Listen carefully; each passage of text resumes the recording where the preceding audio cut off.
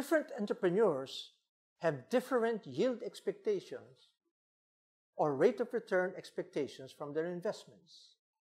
Some entrepreneurs are conservative. They want safe and solid investments. But then again, the returns that they would get would be small. Other entrepreneurs would want their returns to be just about the lending rates of banks. And so if the lending rates are 10%, they might want 15 up to 20%.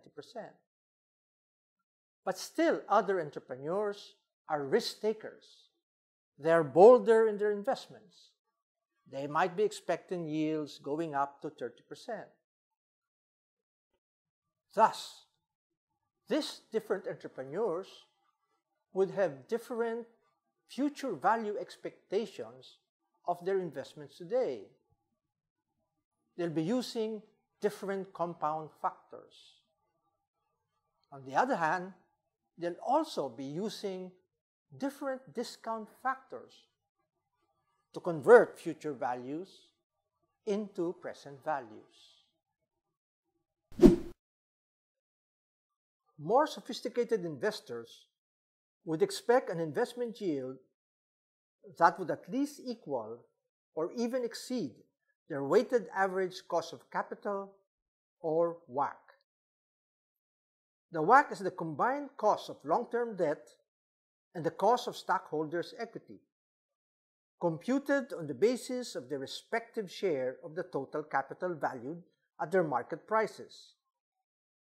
If there were preferred shares, this would be included in the computation of the WACC.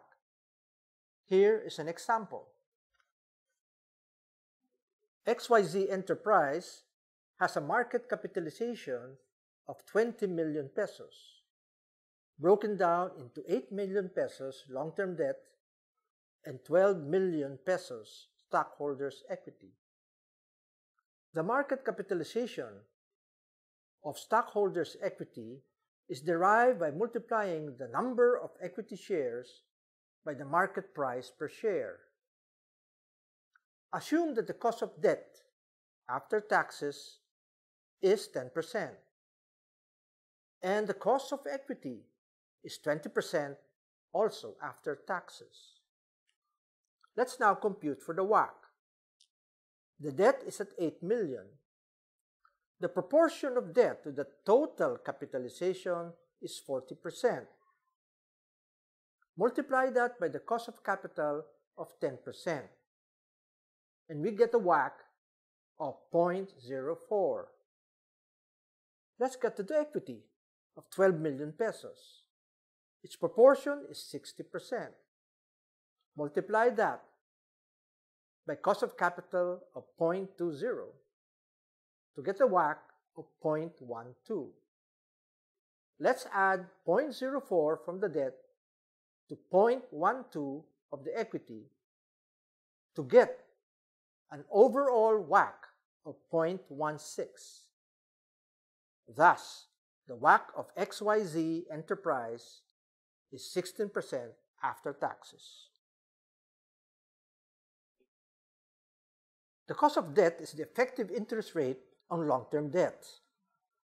The cost of equity is one of the most difficult topics in finance. There are in fact various approaches used by financial analysts in computing the cost of equity.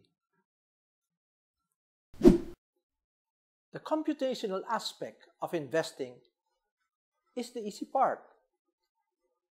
The more difficult part is determining the exact additional cash outlays or inflows from the investment. The keywords there are additional and cash. For the entrepreneur doing investment analysis, all past investments would be considered sunk costs or highly irrelevant costs. Only future cash outlays and inflows are relevant. Thus, if a project were to use equipment bought in the past, the cost of that equipment is irrelevant. However, if we will sell the old equipment, the cash that we will get from the old equipment would have to be deducted from the cash outlay that we will put out for the new equipment. Another thing, all the cash outlays that would be incurred anyway, whether the project is undertaken or not, are also irrelevant. So therefore, if I were renting the office space and the new project would actually use the same office space, then the cost of the rental would be irrelevant. The capital investment analyst must figure out 1. The incremental cash investment outlays or outflows attributable to the new project. 2. The incremental cash revenues or savings from the project. 3. The incremental cash operating expenses for the project. And 4. The terminal cash values at the end of the project's life. Terminal cash values include the cash sales of fixed assets at the end of a project's life. Some fixed assets, like land, may even appreciate. Others, like machinery and equipment, will probably have a very little cash value at the end of the project life. The investment in working capital, which includes accounts receivable and inventory, will also not be needed anymore at the end of the project. Therefore, they can be converted to cash at the end of the project's life. At this point, it is important to remember that when we do project investment analysis, we must compare apples to apples and oranges to oranges.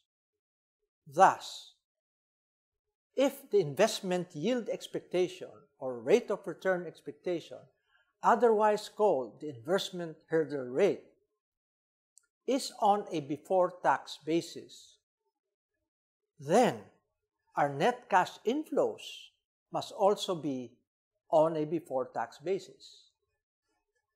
If the investment hurdle rate were on an after tax basis, then the net cash inflows must be on an after tax basis.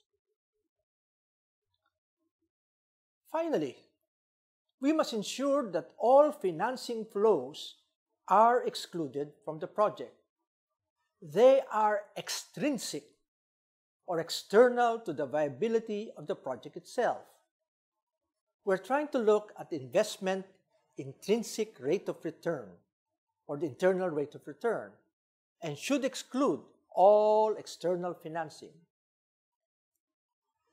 Partly the reason for this is that loan terms can vary from project to project and from time to time, and therefore they might confuse the analysts from coming up with a real rate of return.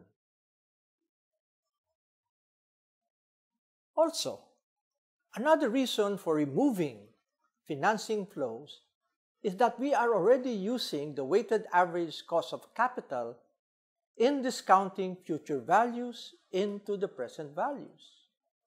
Therefore, if we still add the financing flows, we will be double counting.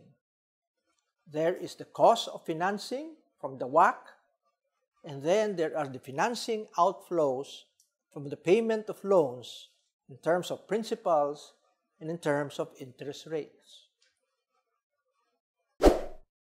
The life of a project or the length of time we will use to evaluate a capital investment can be set at the economic or useful life of the major capital assets or investments. If the project calls for a major overhauling or a major replacement of spare parts, the analyst should include these cash outlays during the project's life. At certain times, the analyst may opt to use an arbitrary investment time period or project life of 5, 7, or 10 years. For infrastructure projects, high-rise buildings, and tree planting programs, the analyst may go up to 20 or even 40 years. If short time periods are chosen, the analyst must remember that many of the capital assets may still have high resale values. This should be taken into account as part of the terminal cash values at the end of the project.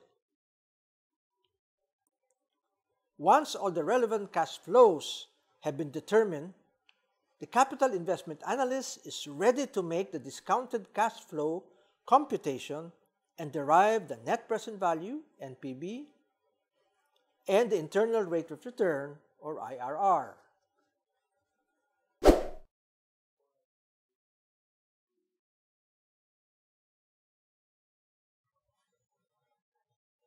To appreciate the investing concepts that we have so far discussed, let us take the following example. A new project is being evaluated. Capital expenditures like land, building, machinery equipment are expected to amount to 7 million pesos in year zero and 3 million pesos in year one for a total of 10 million pesos investment. Working capital, meaning investments in accounts receivable and in inventory, which includes raw materials, work in process, and finished goods, are calculated at 2 million in year 2 when the project is expected to start. As sales increase in years 3 and 4, additional working capital investments amounting to 1 million pesos in year 3 and another 1 million pesos in year 4 are needed. Cash collections from sales are estimated at 12 million pesos for year 2, 18 million pesos for year 3, 24 million pesos for year 4, and 30 million pesos each year from years 5 to 10. Cash outflows for cost of goods sold, excluding depreciation expenses which are non-cash, are forecasted at 8 million pesos for year 2, 12 million pesos for year 3, 16 million pesos for year 4, and 20 million pesos for each year from years 5 to 10.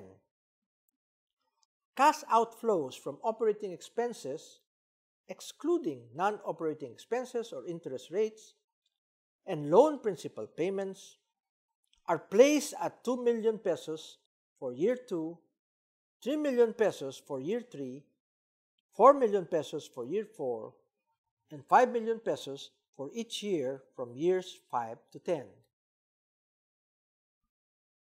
Terminal cash values include the entire working capital of 4 million pesos on year 10 and the sale of 2 million pesos of the fixed asset in year 11.